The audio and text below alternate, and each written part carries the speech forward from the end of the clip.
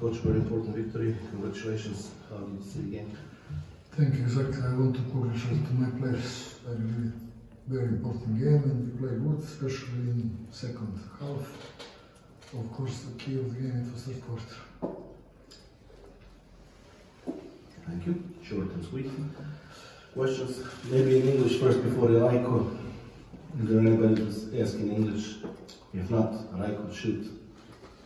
шефе да честитам тоа на победник.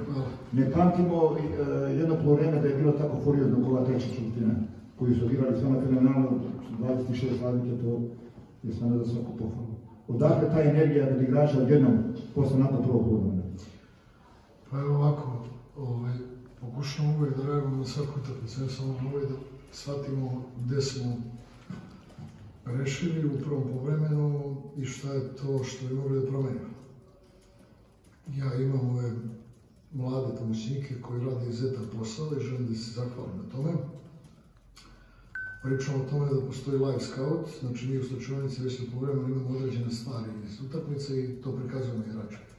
I onda smo prikazali tri situacije kad smo primili veoma lako tri poena, u stvari da nismo ni pokušavali da igramo. I to je bilo to. Znači, da li smo počeli, da mora da budu bliže igračima, da ne smiju dozvole jedan lak šut, onda je ispalo to, ta trećetina kako ispala, da smo odigrali fenomenalnu odbranu, sveli na devet poena i bili strašno razigrani u napadu. I to je tako, ponekad e, energija iz odbrani se pretvori nešto veoma pozitivno u napadu, kao što smo posle ovo stvorili u zadnjoj četini, ali da to neko zadovoljstvo iznutra, kad vodiš sa preko 20 razlike, dovodi do toga, ali kako god čestiti igračima, mislim da je odbrambeno ovo bilo izvanredno, jer moramo vratiti film. Rekao sam, prva utakmica u ligi, možda je utjecalo to što je bila prva, posle toliko godina za Partizan, gdje smo primili 100 pojena, večeras 74, tako da ja lično mislim da je ovo mnogo realnije u odnosu na ovu prvu utakmicu, ali tako je kako je, Alba je dobar tim, oni imaju način igre u napadu da se izuzetno dobro kreću iz lopte, da svaki put ka- kažnjavaju agresivnost protivnika sa backdoor situacijama i da daju laki poen. I vraća se ponovo ono što smo pričali na vremenu te situacije da smo igrali vjerojatno straha tog backdoora i pustili da šutiraju. Tako da je to po meni ključ utakmice.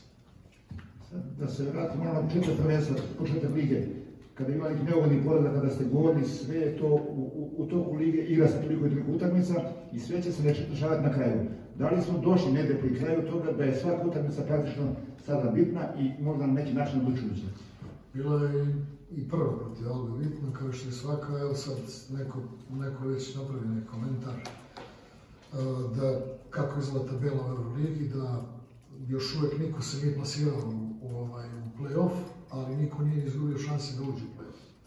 To govori izjednačenosti lige i o tome da svi timovi, čak i Alba teoretski ima šanse da uđe u play-off, ovaj, a ne pričamo ovima recimo šestog do ne znam 14. mesta, razlika valjda jedna pobjeda ili dvije pobjede. Sad ne znam tačno što je pogledam rezultate, možda i tri, znam. Ali znam da je bilo šest timova, s obzirom da je Efes ima utakmicu manje, oni su večeras dobili utakmicu, tako da oni su sigurno unutra u grupi tih timova koji imaju velike šanse da uđu u, u top 8. Za nas, utakmica protiv Splita. To je već subotu. Danas četvrtak. Ja znam da poslije toga dolaze dve važne utakmice u ligi protiv ovaj, Bolonje i Milana, ali mislim da sutra koncentracija na treningu i uopšte ono što je ispred nas, to je najvažnije priprema utakmice protiv Splita, za ko- kojima želim već sada se zahvalim jer ta utakmica treba da se igra u nedelju. Oni su izašli u susret, igrat ćemo u subotu, tako će imati makar jedan dan duže da pripremimo prvu utakmicu protiv Bolonje. Kada bi analizirali sezonu do sada, da li je ovo što ste postigli do sada možda i više od očekivanog i na nivou onoga što otprilike tu negdje što ste očekivali? E, to su pitanja za vas, navijače. Mi koji smo unutra smo svjesni da je ovo mnogo težak posao i da se zaključci donose na kraju sezone. Sedme se pogleda se objektivna slika, pogleda se kako smo radili stvari u prelaznom roku, kakav smo roster imali, uporedimo sa rosterima nekih drugih timova, i onda lepo izanaliziramo i kažemo ovo je bilo dobro, ovo je loše, pošto u svakoj sezoni kad god završi ima i dobrih i loših stvari. Jučer je vaš kolega pitao zadnji dan prelaznog roka, kaže neki sajt je opet pričao o Partizanu kako se pojačava. Znači od prvog dana smo slušali tu priču, a vi ste svjesni kako su se drugi timovi pojačavali, a Partizan je pustao decu koju veruje, odnosno ja kao trener. Smo pustili da odu igraju drugi timovi i ostao sam 12 igrača, što je veliki rizik. Ogromno rizik. Na sreću vratio se Balša da gleda. A kad će početi igrati, to je, odnosno treninga, kamo da igra.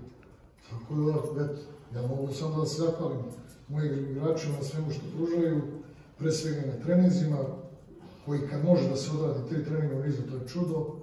A evo sad, znači šta sad sutra može da radimo? To je oporavak, pripreme kroz priču više utakmice protiv ovaj, Splita i onda u nedelju eventualno da probamo pripremimo malo zbiljnije utakmicu protiv, ovog, protiv Lojna.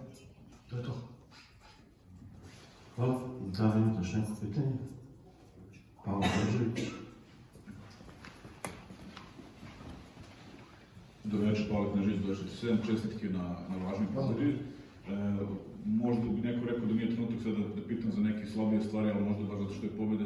Da li je e, nešto, nedostatak ubilačkog instinkta i onako u momentu da se protivnik dokreći nešto na čemu mislite da treba da radi vaša ekipa, jer je delovalo u jednom trenutku da se oni nude, a da ekipa ne može da prelomi posljednje četvrtine. A Dobro, bilo je, bilo je tih trenutaka i kad pričamo o toj četvrtini od 35 poena, a u zadnje 11. Protok u zadnje četvrtini bio katastrofalno. Usporili smo maksimalno i to je to o čemu pričati. Ja se apsolutno slažem. Moramo naviknemo da, da, da se naviknemo da nastavimo da igramo, pogotovo što svi igrači dobijaju čuda, svi bili na parketu, neko s nekim većim učinkom, neko s manjim, sigurno da je ovo utakmica koju treba istaći ovo što radi Aleksa. To nema nikakvih dilema. I ovdje igrao izvanrednu utakmicu.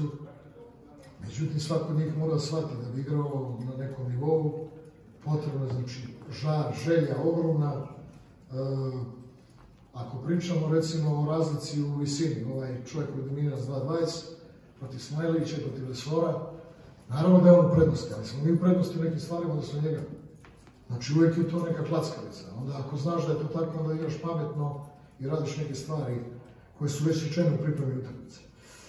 Ovaj, tako da, evo, ispred mene papir, 1-4 penala.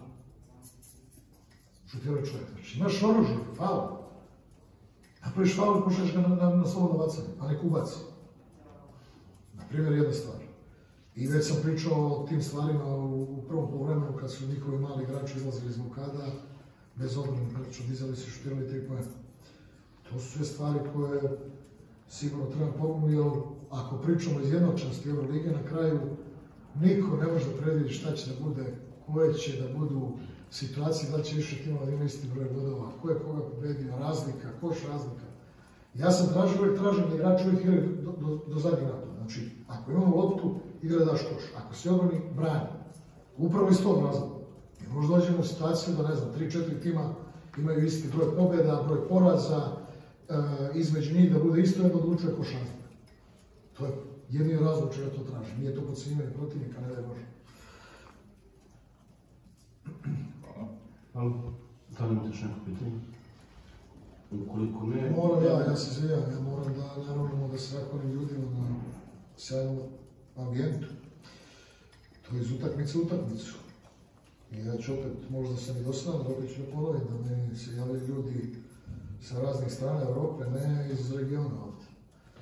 I da je to postalo, Boga mi stvar prestiža da se dođe da se gleda Partizan. Svi mi trebamo imati ponosni na to. I da se zahvalim ovim ljudima koji prave atmosferu. Partizan jeste ono što jeste zahvaljujući pre svega navijača. I mi to moramo svi u glavi. Stalno se zahvaljujemo, znamo kako već ide i kako ide prodaja karata za naredne utakmice kad se budemo vratili ovde ovaj, u arenu protiv šta nas čeka Olimpijakos, Barcelona, Real i na kraju Panathinaikos. Možete misliti četiri takva tima, na kraju takvi raspored isto. Tako da očekujemo da se ovo nastavi još jednom mnogo mi hvala na tome što vode tim. Ja lično živim neke trenutke koji su fantastični. Hvala gospodinu Bradoviću. S tim u vezi bih se jedan dovezao da kažem da će prodaja ulaznice za meč protiv Olimpijakosa početi tokom sutrašnjeg dana, a da će prodaja ulaznice za meč ABA lige protiv Crvene zvezde početi u ponedeljak. Više detalje sutra na klubskom sajtu, bit će određenih ograničenja i tako dalje, da ne, ne dužimo. A gospodin Vladić, ovaj bi zamolio samo za kratak komentar o utakmici koja nas sledi u Splitu. Već sam rekao, zahvalio sam se njima na tom što sam izašao iz susret igramo u subotu. Naravno da ćemo igrati maksimum ozbiljno, oni su toku ove lige pokazali da su tim koji može da igra veoma dobro i da očekujem uopšte laku utakmicu, pogotovo zbog ove situacije u kojoj se nalazimo, da imamo praću samo jedan trening kroz koji treba pripremiti tu utakmicu. Hvala, ukoliko to sve, prijatno Hvala, večer.